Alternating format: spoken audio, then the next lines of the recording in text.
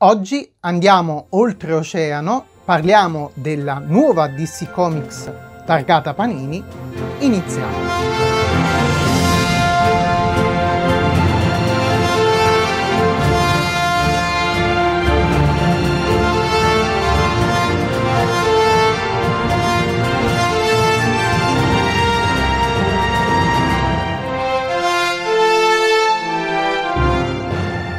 Amici, bentornati su Recenso, la videorubrica di libri, fumetti, manga, film e telefilm. Nella puntata di oggi parleremo per la prima volta di un fumetto americano. In realtà non è propriamente vero perché in passato già abbiamo fatto qualche excursus nello stile americano, soprattutto attraverso i fumetti di Star Wars. Ne abbiamo visti in passato, ne continueremo a vedere in futuro perché piano piano li sto recuperando. Sia ovviamente lato Legend che abbiamo quasi finito, che poi quello canon. In realtà Forse voi non lo vedete, ma c'è anche la mia collezione di Doctor Strange incartonato, ma sto aspettando che esca l'ultimo per poter leggere tutto e parlarne con voi. Per cui in realtà quella di oggi è la prima volta che mi discosto dalla mia comfort zone nello stile americano e parliamo quindi della DC che in Italia trova il suo nono editore nella Panini Comics. Metto quindi un po' le mani avanti, non solo perché è la prima volta che leggo della DC, ma poi perché avendo appunto solo la base di Star Wars come stile americano a me conosciuto, non voglio sbilanciarmi troppo inventando qualcosa per compensazione o dicendo cose inesatte, proprio perché è uno stile sia di narrazione che di narrazione per immagini, quindi stile grafico, a me molto lontano. Per cui il mio è un voler creare qui un piccolo spazio nel quale, senza pretendere di essere dei conoscitori di questo genere, ma come semplici lettori e appassionati. Poi se voi siete più bravi di me, sicuramente avete qualche conoscenza in più a me, vi aspetto nei commenti qui sotto per aiutare un po' tutti a entrare in questi nuovi filoni, che per me sono nuovi, per altri no. Ma è anche giusto così. Al passaggio di consegne, quindi dalla RV Lion, se non sbaglio, alla Panini, non tutti sono d'accordo perché sembra che la Panini stia forse un po' monopolizzando quelli che sono i mercati del fumetto, sia lato nipponico che lato occidentale. In Italia detiene quasi tutto lei, è una bella fetta quella che mantiene, però sinceramente io non trovo che stia sbagliando nel muoversi e nel comportarsi, anche se effettivamente quella che già due anni fa era la polemica sul costo eccessivo degli spillati e il rincaro che c'è stato non solo nella Panini ma anche in tutte le altre case editrici, si fa ancora sentire economicamente e ancora proprio come discussione attorno alla casa editrice. Però passiamo avanti. Stavo dicendo, abbiamo parlato un po' della pubblicità che si è voluta fare la Panini a riguardo. Questa pubblicità è stata sviluppata attraverso, mi sembra, 5 personaggi del mondo della DC e questi personaggi sono stati portati sul nuovo mercato, mettiamola così, attraverso i volumetti alfa, che sono degli spillati che racchiudono un poco la nascita dei personaggi di cui parlano. E poi in queste settimane stanno uscendo i primi spillati, i numeri uno delle storie. Ovviamente, come già detto negli editoriali che ho trovato molto interessanti, molto nostalgici e romantici, all'interno di questi spillati, ovviamente ci sarà anche delle pubblicazioni a parte, magari non mensili e quindicinali, che serviranno quindi a eh, rinfoltire e a recuperare quello che è il passato di questa grande casa editrice americana. Io ve li presento nell'ordine in cui li ho letti, quindi come al solito non è un ordine di gradimento.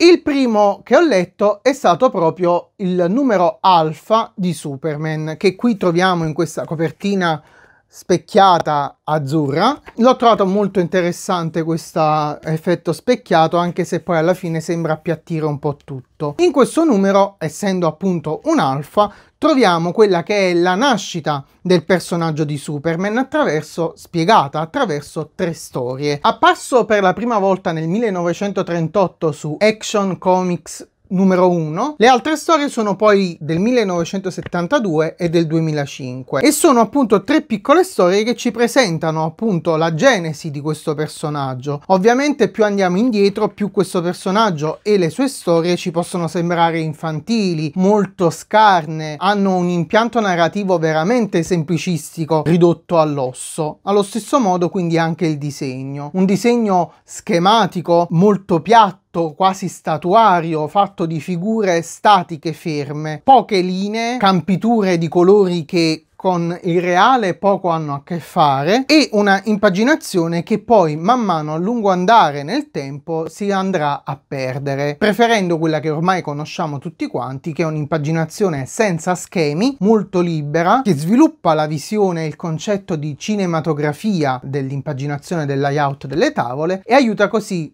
la lettura. Poi vediamo più là se questa cosa funziona o meno. Eppure, nonostante questo, l'evoluzione del personaggio si vede molto chiaramente, viene sviluppata quindi non solo attraverso la sua fisionomia e il modo con il quale da figure piatte, fisse e rigide viene sviluppata l'armonia delle forme dei personaggi, la possenza e anche quindi tutti i volumi dei muscoli del personaggio, ma anche quindi gli stili di disegno che prendono non solo il tratteggio con il quale inizialmente si voleva creare quella profondità e quelle belle volumetrie. Qui ovviamente oltre il tratteggio si inizia a giocare anche con macchie di china, con colorazioni diverse e lo stesso quindi avviene anche eh, per gli sfondi, fino ad arrivare a un disegno colorato in digitale che quindi sembra assottigliare molto le linee per dare quindi appunto più peso al colore, colore che proprio perché è digitale, mentre va a perdere la schematicità dell'impaginazione, prende molta importanza con questi bellissimi sfumati e questi bellissimi contrasti. L'unico punto negativo che trovo è il fatto che questo Superman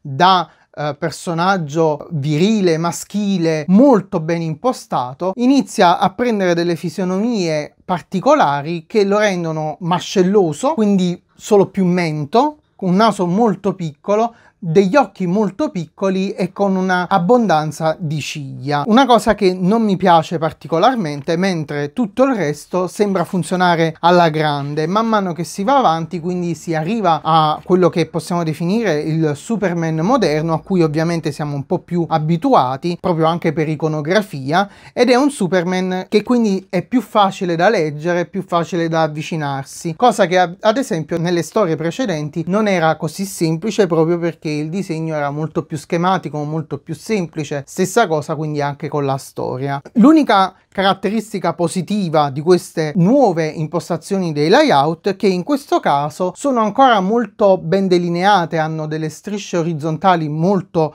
chiare, nette e ancora non c'è quella grande sovrapposizione di vignette, quasi sparizione di vignette in questo dinamismo forte e potente e prepotente che alle volte fa perdere la uh, cognizione e la lettura, la, la rapidità e la facilità della lettura.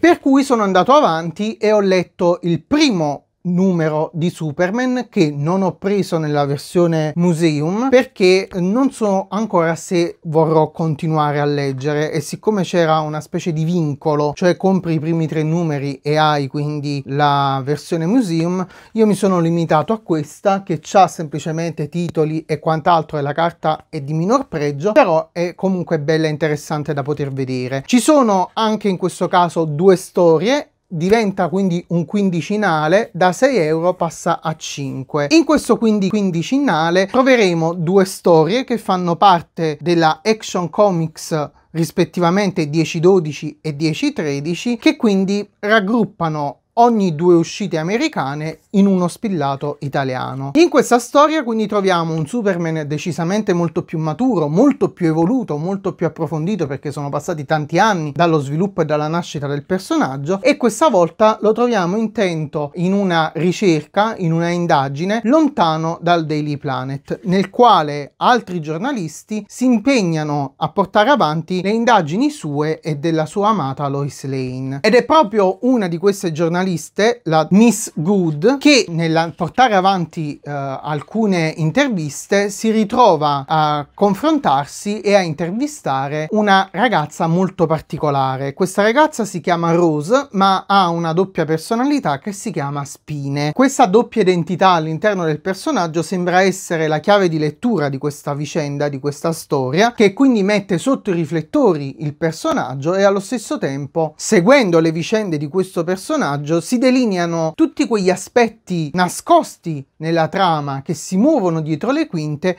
e che quindi ci mostrano eh, il pericolo imminente per il quale Superman si sta muovendo. Trovo la narrazione molto interessante perché passa da un personaggio all'altro, da una vicenda all'altra, non ci fa fossilizzare quindi su un solo personaggio, un solo aspetto, ma compresa anche di sottotrame che riguardano proprio anche Miss Good, ci aiuta a assaporare quella brio, quella frizzantezza e quella novità caratteristiche di un inizio di storia. Ciò che è bello in questo fumetto è ovviamente il disegno, come ho detto un disegno molto moderno, molto particolare, che sfrutta al massimo quella che è la comunicazione visiva televisiva del cinema, tanto che sviluppa anche una lettura delle immagini e una scansione nei piani delle vignette che aiuta la lettura dell'occhio perché mette a fuoco i personaggi e alcuni dettagli e tutto il resto, quinte e sfondi, sfocano. Ciò che mi ha dato particolarmente fastidio invece è questa, scusate, lattuga, questa insalata che viene messa prepotentemente a cornice delle vignette, vignette che altrimenti sarebbero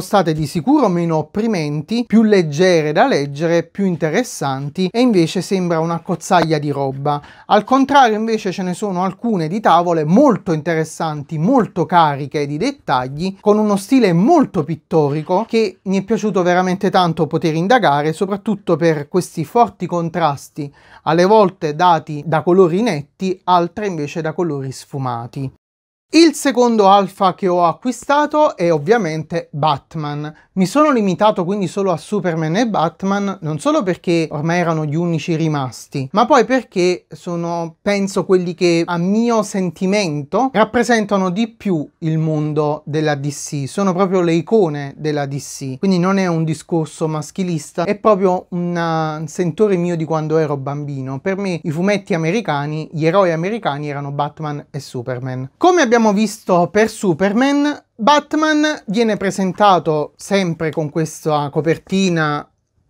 in azzurro riflettente. Sinceramente mi aspettavo fosse qualcosina in più mm, soprattutto dalla resa del Batman qui in copertina. Ma avrei preferito qualcosa di un po' più accattivante. E anche in questo caso la versione alfa il numero alfa ci presenta il personaggio dagli albori fino ovviamente a qualcosa di un po' più recente. La prima volta quindi che vediamo Batman è nel 1937 e ovviamente le cose sono cambiate a lungo andare, direi anche per fortuna, perché la prima storia ci viene presentata come un disegno molto, possiamo dire, io non vorrei inimicarmi nessuno, ma molto immaturo, molto facilotto, sempliciotto, con queste figure molto piatte, schematiche, rigide, impostate. Sembrano quasi a voler imitare e scimmiottare dei fotoromanzi. E il primo fumetto che troviamo, Il caso del sindacato dei chimici, è in realtà una storia nella quale Batman sembra più un detective,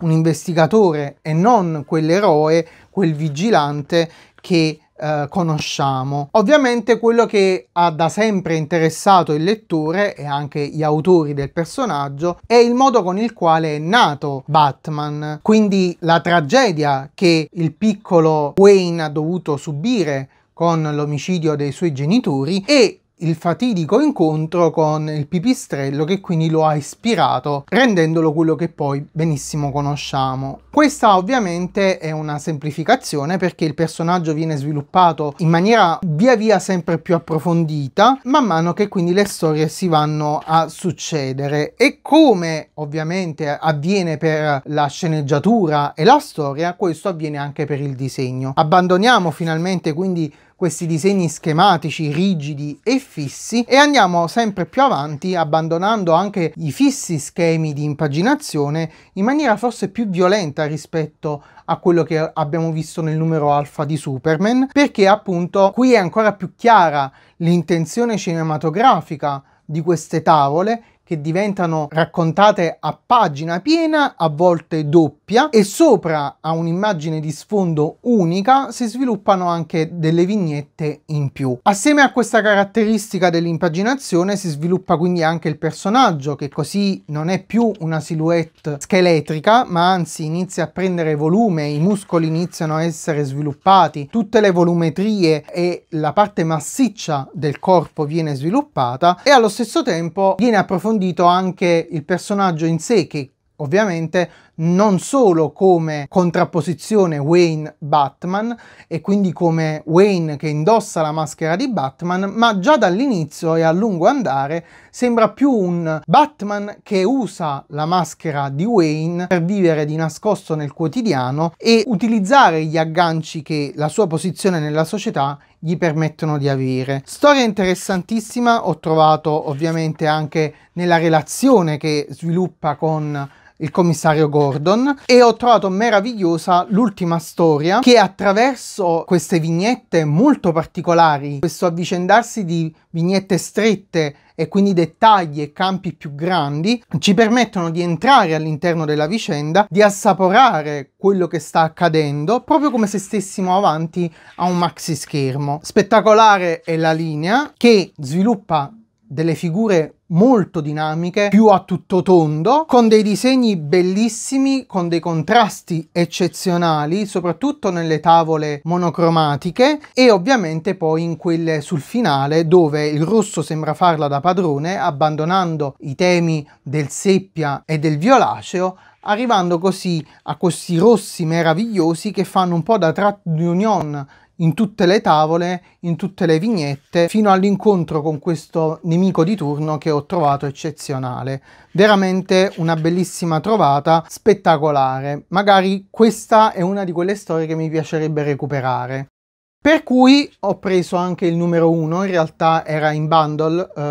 il numero 1 di Batman e di Superman, anche in questo caso costa di meno rispetto all'alfa, anche per la qualità della carta della copertina e di quello che è stato stampato. E abbiamo anche in questo caso due storie all'interno di un unico spillato, anche questo sarà quindicinale e come mi sembra di aver capito con Superman, anche in Batman, forse o solo forse Batman, non ricordo, avremo un succedersi pezzi di una storia e ogni due settimane si, se ne continua una. Quindi è un ritmo che già abbiamo visto ad esempio in Star Wars e di sicuro in altri periodici americani. Il titolo è chiaro e semplicissimo, un po' meno forse la storia perché ben condita di mistero. Un mistero che si apre già dall'inizio con una confusione che viene creata all'interno del lettore, o almeno di me, perché al posto dei poliziotti troviamo a compiere delle indagini Enigmista e Joker. A man mano che si va avanti nella storia si capisce che, quindi che Gotham City non è più quella che conosciamo, ma anzi è caduta sotto il gioco del cattivo,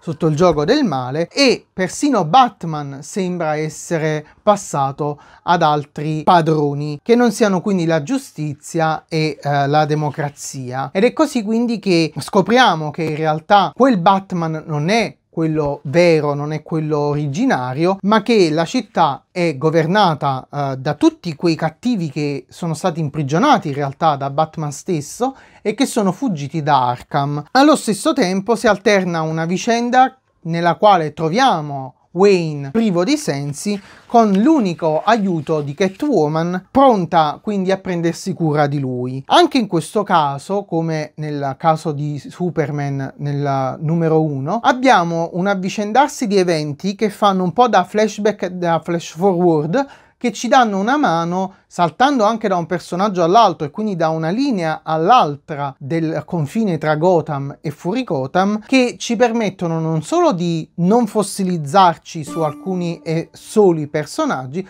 ma anzi di andare ad assaporare un po' in giro. E lo trovo una cosa molto dinamica, molto frizzante e funzionante. Infatti, anche se inizialmente c'è questa difficoltà a capire cosa sta succedendo, poi man mano che si legge si entra nel meccanismo e diventa molto coinvolgente, come ovviamente, e qui anche meglio di Superman, è coinvolgente il disegno, un disegno veramente spettacolare, molto moderno nelle tecniche e soprattutto interessantissimo per questa scansione delle vignette che sono quasi tutte orizzontali, quindi strette e lunghe, quindi molto cinematografiche, e l'alternanza invece a vignette che scompaiono, diventano delle splash page, quindi completamente a piena pagina nella quale quindi e con la quale si vuole che il lettore entri all'interno della vicenda e venga coinvolto, possiamo dire, con tutti i sensi. Linee interessantissime, figure belle, sode, dinamiche, ben piantate, con delle linee muscolari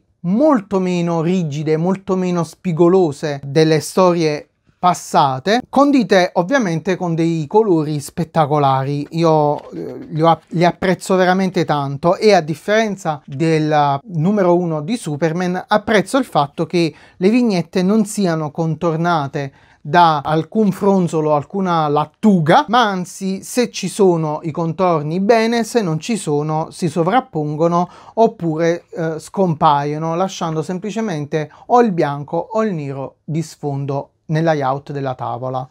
Come ho detto, questi sono i quattro volumi, i quattro spillati della DC che ho voluto recuperare, che ho potuto recuperare. Avevo visto anche la versione da collezione dei numeri alfa, solo che quando ho visto il prezzo non so se ho urlato io dentro di me o era il portafoglio in borsa che stava urlando che non voleva essere violentato e quindi ci ho rinunciato. Poi se magari la Panini è all'ascolto di questo video e abbia voglia di sovvenzionare qualche puntata, io potrei anche eh, proseguire ovviamente. Di certo il fatto che queste storie siano quindicinali e non mensili diventa anche più oneroso proprio sul lato delle spese perché ogni volume sono quasi 45 pagine su per giù, per di più a 5 euro e quindi sarebbe se si volesse continuare la lettura 10 euro ogni due settimane solo per questi due personaggi, quindi ognuno si misura la palla e decide se entrare in campo o meno. Per il momento queste sono le mie parole, i miei pensieri riguardo l'ingresso della DC nella Panini e il suo ritorno quindi in Italia. Chissà, io però ho parlato troppo, ditemi voi nei commenti qui sotto cosa ne pensate di questa strategia e soprattutto cosa ne pensate delle storie. Magari le strategie lasciamole agli editori, noi siamo lettori, però se anche voleste parlare di strategie editoriali io sono interessato anche a questo. Vi aspetto nei commenti qui sotto, ditemi la vostra, ovviamente usate toni garbati, non c'è bisogno di fare gli spocchiosi perché immagino che in ogni fandom ce ne siano. I video precedenti ne sono un po' la dimostrazione nel passato della mia vita qui su YouTube. Basta parlare, se questa puntata vi è piaciuta fatemelo sapere con un bel mi piace, condividendola con i vostri amici e iscrivendovi soprattutto al canale, attivando anche la campanella al lato. Mi trovate in tutti i social network che vi lascio qui sotto nell'info box, ma fate visita soprattutto a www.re-censo.it e iscrivetevi nei gruppi Facebook e Telegram Il Salotto dei Recenziani. Io sono Dario, questa è Recenso e noi ci vediamo venerdì prossimo con una prossima puntata, sempre qui, sempre su Recenso, pronti a sfogliare nuove storie e volare insieme nel mondo della fantasia.